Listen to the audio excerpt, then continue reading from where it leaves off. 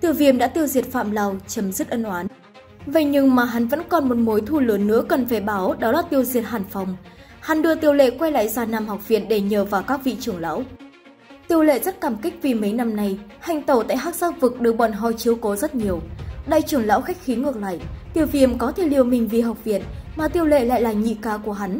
Xa Nam học viện đương nhiên phải bảo vệ chu toàn rồi. Dù sao sau này thế lực của Tiểu Lệ còn phải sát cánh trên đầu với Gia Nam học viện, nên đây chính là sát cánh cùng nhau. Đại trưởng lão lên tiếng tuyên bố, hai năm trước, học viện trải qua kiếp nạn bị người ngoài sỉ nhục.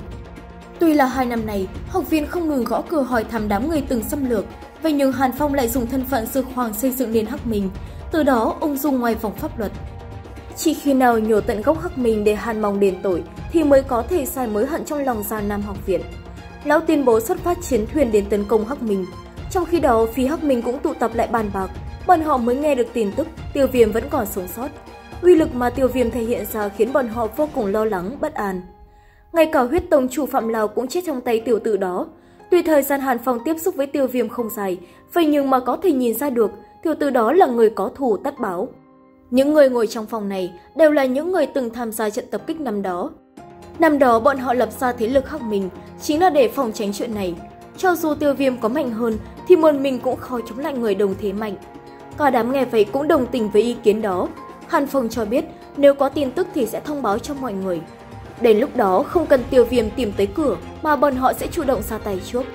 Hàn Phong chỉ hy vọng rằng nếu thực sự bắt được tiêu viêm thì mọi người có thể giao từ từ đó cho hắn xử lý, đồng thời sẽ đưa cho mọi người một thủ lao hài lòng. Hiển nhiên ý định của Hàn Phong là nhắm vào bộ cùng pháp phần quyết hoàn chỉnh. Đạt được nó rồi thì việc trở thành cường gia đình cầu trong đại lục cũng nằm trong tầm tay. Đang vui mừng thì bọn họ cảm nhận được khí thế của Gia Nam học viện, bởi vì Gia Nam học viện đã tấn công nhiều lần vậy nhưng không thành, cho nên đám người ở đây cũng chẳng còn ngạc nhiên nữa mà cũng không chút e ngại. Đúng là có kiên nhẫn mà, tuy nhiên cảm giác của Hàn Phong lại khác, dị hỏa hai tâm diễm trên người hắn sinh ra cảm ứng và tỏ ra e ngại, nên trong lòng hắn cũng thấy bất an. Tiến vào trong địa bàn hắc mình, Tiểu Viêm liền cảm thấy rất nhiều khí tức cường giả. Hắn không ngờ mới ngắn ngủi 2 năm mà Hàn Phong lại có thể thành lập thế lực chống lại học viện. Hàn Phong vốn là lục phẩm luyện dược sư, sức triệu tập là rất lớn, có ai mà không muốn đạt được một viên đan dược của hắn ta cởi trước. Tiểu Viêm muốn đối phó với tên Hàn Phong đó, còn Kim Ngân nhị lão sẽ do Tô Thiên xử lý. Tiểu Viêm ngoài việc muốn tiêu diệt Hàn Phong thì còn muốn dị hỏa trên người hắn ta. Tô Thiên không phủ nhận sự quý giá của dị hỏa, Vậy nhưng, lão không biết là tiêu viêm có công pháp phần quyết nên vẫn nhắc lại sự nguy hiểm. Vậy nhưng mà con nói thì cũng vô ích. Tiêu viêm chỉ biết là trên người hắn mang mối thù, dù là cơ hội thành công cực kỳ thấp thì cũng không bỏ cuộc. Một khi thành công thì hắn sẽ có đủ sức mạnh. Nếu như thất bại thì bị dị hỏa phản phệ cũng là chuyện bình thường. Đây chính là đang dùng tính mạng để đánh cược, nếu không liều lĩnh thì làm sao thanh tài được. Nói chuyện một hồi thì bọn họ cũng đổi nơi, đứng chờ sẵn là đám cường giả hắc mình, Tô Thiên lên tiếng muốn hôm nay chấm dứt ân oán. Hàn Phong không quá để ý tới mấy lời này mà chỉ tập trung vào tiêu viêm. Khí tức trên người tiêu viêm phát ra khiến hắn ta cũng e ngại. Tiêu viêm cũng lên tiếng chào hỏi và còn hứa sẽ đưa đối phương về chầu tổ tiên. Những lời này đương nhiên đã chọc giận Hàn Phong. Tiểu tử ngông cuồng thật đó, năm đó dám chống lại Hàn Phong hắn cũng chỉ là dựa vào sức mạnh vay mượn, rồi chỉ sợ tiểu tử không có tư cách thanh lý môn hộ đó thôi. Nghe lời đối thoại, đám người xung quanh liền nhận ra Tiêu Viêm và Hàn Phong đều cùng một thầy. Mỗi tội thái độ giữa hai người đồng môn lại không phải là sư đệ mà là kẻ địch sống chết. Sau một hồi thách thức, hai bên cũng đồng thủ, ai ai cũng muốn thể hiện bản lĩnh của mình dạy cho đối phương một bài học. Các cường giả có thể phi hành thì chiến đấu trên không trung, những người có thực lực yếu hơn thì nhảy xuống đánh nhau dưới đất. Kim Ngân nhị lão lao đến như cơn gió, Tô Thiên ra tay ngăn cản. Kèo này muốn phân thắng 7 thì phải mất rất nhiều thời gian, trong thời gian đó, Tiêu Viêm và Hàn Phong hóa thành hai luồng sáng truy đuổi nhau. Các đệ tử bên dưới kịch chiến, Tiêu Lệ cũng nằm trong số đó. Một lần hắn ta vung trường kích, vô số đàn em của Hắc Minh bị đánh bay. Tiêu Viêm và Hàn Phong đuổi nhau ra bên ngoài. Trong lòng Hàn Phong còn thắc mắc nên muốn biết, rõ ràng hắn là học trò xuất sắc và hài lòng nhất của Dực lão. Vậy nhưng vì sao năm đó lão ta lại không truyền thụ lại phần quyết? Nếu như lão đem phần quyết truyền thụ thì hắn nhất định sẽ luôn tôn trọng người thầy, Đáng tiếc kết cục cuối cùng đều là do ông ta tự tìm lấy. Tiêu viêm cho biết không có lão sư thì Hàn Phong hắn chỉ là một người cô nhi hai bàn tay trắng. Ông ấy xem hắn như con đẻ của mình, ấy vậy mà hắn lại vì một quyền phần quyết mà phản bội. Hàn Phong phản bác, nếu đã như con ruột thì tại sao không truyền lại công pháp?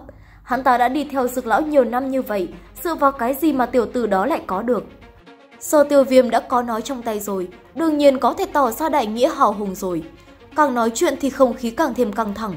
Hàn Phong muốn dùng Hắc Minh và rất nhiều dược phương đan dược quý hiếm, cùng bất cứ điều kiện khác sai trao đổi lấy bản hoàn chỉnh của phần quyết. Tiêu viêm cũng đồng ý, vậy nhưng là đổi bằng cái mạng của hắn ta. Rất lời nam chính liền phóng xuất vẫn lạc tâm viêm, điều này làm cho Hàn Phong giật mình hoảng sợ. Nam chính cầm huyền trọng xích lao lên tấn công, Hàn Phong cầm vũ khí phản công ngược lại. Tiêu viêm ngăn cản, tên kia ngưng tụ ra nhiều thanh kiếm bằng hỏa diễm đánh phủ đầu. Tiêu viêm lần nữa ngăn cản. Chỉ sau vài chiêu giao thủ, Hàn Phong liền cảm thấy thực lực của tiêu viêm đã tăng lên rất nhiều so với hai năm trước. Vũ khí hai người chạm nhau, sang co kịch liệt. Vậy nhưng thanh kiếm của Hàn Phong nhanh chóng bị hỏa diễm của tiêu viêm phân giải nứt ra. Được đà tiến lên, tiêu viêm gồng mình tung một đòn cực mạnh. Hàn Phong vội vàng dùng hai tay ngăn cản. Hắn ta cảm thấy di hỏa trên người tiêu viêm quá kỳ lạ, có thể nhìn ra được bí ẩn trong di hỏa của mình. Tiêu viêm cũng ngạc nhiên, Hàn Phong này quả nhiên có bản lĩnh. Hàn Phong vẫn nộ bạo phát lực lượng tạo thành một vụ nổ lớn. Động tĩnh này làm cho Kim Ngân nhị lão cũng bất ngờ. Tên Hàn Phong đó tầm cờ sổ thật, ngay cả bọn lão cũng không biết hắn sắp bước vào cấp bậc đấu tông. Trước mắt chỉ là nửa bước đấu tông mà thôi. Hàn Phong thừa nhận Tiêu Viêm là người đầu tiên trong vòng 2 năm này khiến hắn phải thi triển toàn bộ thực lực.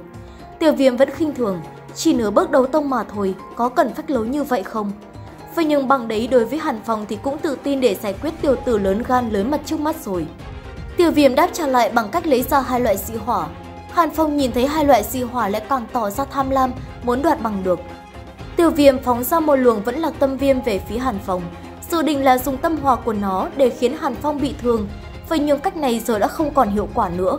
Hai người cùng nhau ngừng tụ lực lượng, khi tức dị hỏa bạo phát ra xung quanh vô cùng kịch liệt. Quang diệu ấn của Hàn Phong đối đầu với diễm phần phệ lãng xích của tiêu viêm. Bùm một cái, vụ nổ lớn chấn động khiến phe địch lẫn phe ta đều phải dừng lại công kích để quan sát. Khói bụi xung quanh vụ nổ chậm rãi tan đi, tiêu viêm lẫn Hàn Phong vẫn toàn thấy. Xem bộ dáng thì có vẻ như tiêu viêm đã tiêu tốn nhiều sức lực hơn. Hàn Phong vừa mỉa mai xong thì đã phải méo mặt. Tiêu viêm chẳng biết từ lúc nào đã ngưng tụ xong chiêu Phật nộ hỏa liền. Phật nộ hỏa liền do hai loại dị hỏa ngưng tụ, uy lực của nó hoàn toàn mạnh hơn các phiên bản trước đó. Và Hàn Phong sẽ đối phó như thế nào? Các bạn hãy đón xem các tập tiếp theo để rõ hơn nhé. Xin chào và hẹn gặp lại!